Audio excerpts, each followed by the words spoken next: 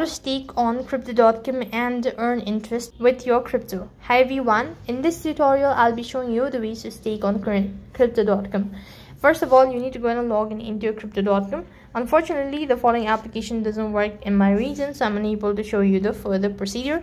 I'll just gonna i'm just gonna go ahead and instruct you.